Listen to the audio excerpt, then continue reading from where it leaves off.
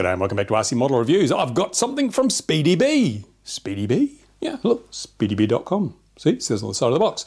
Speedy Bee, now this seems to be, I think it's an offshoot of RunCam. And they contacted me a while ago and said, hey, how would you like a customized FPV antenna?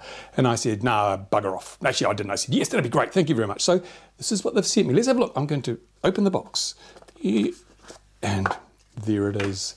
Look at that. Let's just, I'm going to go to macro now because you've got to see the best bit. And there it is, personalized. Look, let me take it out of the box without trying to lose focus here. Here it is. What does it say on the top? Look at that. Hopefully we can get it. Look, XJet. So it's not RC model reviews, it's XJet. I didn't want RC model reviews um, on there because as you know, I don't shill for products. I don't promote products. I don't really want to be seen to be endorsing or uh, being sponsored by products. But XJet, hey, who cares? That's my fun channel. And if you don't subscribe to XJet, you should go and subscribe now. But there we go. This is the, the new antenna from Speedy Bee. Um, let's just pull out a bit and I'll, I'll, show you what it looks like compared to something you're probably more familiar with. Right, here we have the Lollipop from Fox Foxeer. And I really like that antenna. In my tests, it's, it's worked really well. I've had it on my quad. It is a really good little antenna. For the size of it, it produces a fantastic result. So I can't help but um, say that it is wonderful. It's got hot glue on this one. It's all covered in hot glue because I just glued up my quad. Um, yeah, brilliant little antenna. Quite resilient too. I've had plenty of crashes with that antenna, although the, the coax is a bit bent. It has survived. Now here's the Speedy Bee. The Spe and you notice it's a lot squatter in terms of the actual antenna elements itself. Um, it's probably half the height, half the height. And this one's got a slightly longer lead. So if you mount at the same level, this is going to be a little bit higher above the frame, which is actually quite good. Um, I haven't tested it yet, but I will be testing. I'll do head to head. Compare the lollipop to the to the what is it? The Speedy Bee, Speedy Bee antenna. In fact, they sent me some with an MMCX connector as well, because uh, that's for the long range FPV project. I'm going to use. Oh, have I opened this box? Hang on. For the long range FPV project, I'll be using the MMCX, and this one, of course, has a thinner coax. This is a lighter antenna, so this is more for your, your robust mini quads with the standard um, semi-rigid coax. And the other one is much lighter. And let me get the scales that don't show the blood because I think it's important that we weigh these things, especially if we're looking at sub 250s and everything these days. Let me move that out of the way. Oh, let me pull out a bit further so we can actually see the scales. Here we go. Right, now we're in grams, we're zeroed. So let's take a lollipop, for example. The lollipop, seven grams with an SMA connector. The Speedy Bee with an SMA connector, slightly longer coax, also seven. Oh no. Whoa. Seven. Yes, it's just gone seven. So oh, my hand must be adding to the weight. Gravitational force. Look at that. So basically these two weigh about, whoops, weigh about the same. So it'll be interesting to see. Now here's the, the, the lighter weight one with the MMCX connector, which is obviously designed for smaller craft. Let's see what that comes in at. Wow, half the weight, less than half the weight.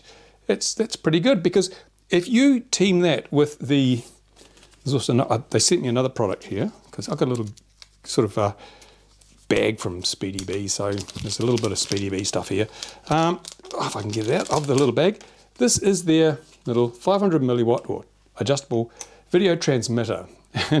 So if I put the 500 milliwatt video transmitter and the antenna, we're still only six grams. This is perfect for sub 250 FPV and, and longer range too, because we're looking at 500 milliwatts. And with the MMCX connector, it just plugs into there, bing, Oops, no, if I pushed it hard, I'd plug it in, but I can't be bothered. Anyway, so there we go. That's super lightweight because I was planning to use a more conventional 600 milliwatt trans, uh, video transmitter, but no, I'm going to go with this in the long range build. Fantastic, six grams for your FPV. And of course, combining that with the little RunCam Nano Racer, oh, we're still looking well under 10 grams for the entire FPV system. That is fantastic.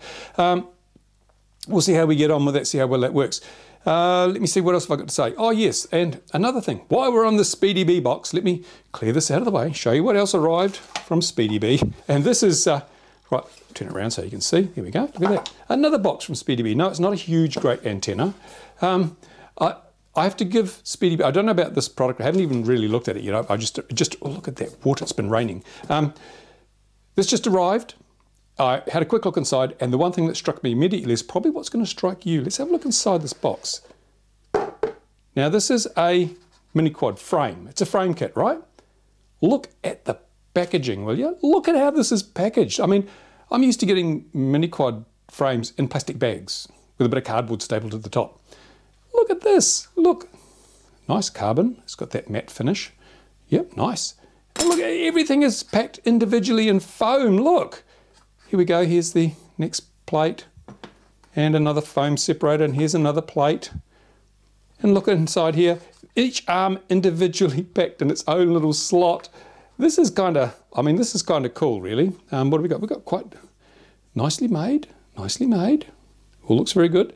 Um, I'm still, I, I st belief to this day, I still do not understand. I've spoken about this so many times, and that is stress relief, stress rises. Look, I mean, this is still, let me put this against something lighter like the, the instruction brochure so you can see the contrast better than against my horrible green mat. Look, let's have a look at this arm. I'm going to pull in a little bit here because I, I don't know what's going on. Um, has the world gone silly? I mean, this looks great quality carbon. It's, it's all rounded, it's, it's smooth. It's, you can't criticize the quality of the materials. But here we have stress riser. See? We've got thin there, thin there, so there's going to be high stress across there because we go from this thick area to these very thin areas. All I had to do is bring this out a little bit more here. Wouldn't have added any perceptible weight, would have made this so much stronger. And let's have a look at this end. This is not so bad. This, this end is not so bad because we have a couple of holes, but we do have some extra material out here yeah, that, I'm reasonably happy with that. So yeah, and we've got to take into account, of course, that the motor will be reinforcing the sensor. It's not as bad as it might look, but I would still like to have seen just a little bit more material so that there was the same cross section where the holes are as there is just before the holes. Anyway, uh, I'm perhaps being a little overly critical. We don't know. So this is the, what is it? Oh, look at the book. Look at, look at the thing. It is the Speedy Bee FS225. So I guess it's a 225mm frame and it comes with a whole plethora of stuff, bits of metal, stand, oh look at those meaty standoff, woo, who uses metal? They do, look, and screws and nuts and bolts. Yep, looks like a quality product, really looks like a quality, well, certainly the presentation exudes quality. I mean, everything has its own little compartment in the box, and whoa, I am impressed. At this stage, I am impressed. Now, I will be building this up and, and trying it out, but man, that's pretty good. What size stack does it take? I would think at that size it'll be a 30 mil stack. Uh, I think, have they drilled it for either either? I don't know. Where's that little video transmitter? This is a 20 mil. The other reason, let me see. Oh, no, just about dropped it. See, as I try things out while you're here. Yep, that'll take a 20 mil stack. If you want to use a 20 mil, or if you want to go wider, I think it'll probably take the 30 mil stack. Look at that, brilliant. Um, so th this is this is excellent quality, excellent quality, fantastic. I'm sacrilege that I'm just throwing bits back in here because of all that nice packaging is just so brilliant. But uh, yeah, that'll be I'll be doing this up over the next week or two. Um, no hurry because I've got other fixed wing projects which are more important at the moment. But just suffice to say, the packaging alone makes this a standout frame and brilliant. You know, I'm not going to uh, speak to the the frame until I've finished it, but who gets a frame in a box like that with all that foam? And again, let's go back to this one, the TX500. One thing I like about this is it's a 20 mil um, stack. So I have a flight controller somewhere, which I've lost because, oh, I don't know, things disappear around here. How does, how does it happen? I don't know, but I've got the little Flybot flight controller, which I'll be using for the long range FPV. It's also 20 millimeters. So I'm gonna make a 20 millimeter stack in a fixed wing long range sub 250 gram FPV model which hopefully, hopefully will tick a lot of boxes for people in Canada and elsewhere in the world where you don't want to register. Oh, who wants to register to just to fly a toy? Stupid, silly idea. Anyway, um, so yeah, that is kind of nice. So there we go. Antennas, video transmitter, and a quad frame, all from Speedy Bee. Now, I don't know what's happening. Um, maybe Runcam is just the camera department, and Speedy Bee is the everything else department. But I'll, uh, I'll put a link to the Speedy Bee website down here. No affiliate links, no shilling.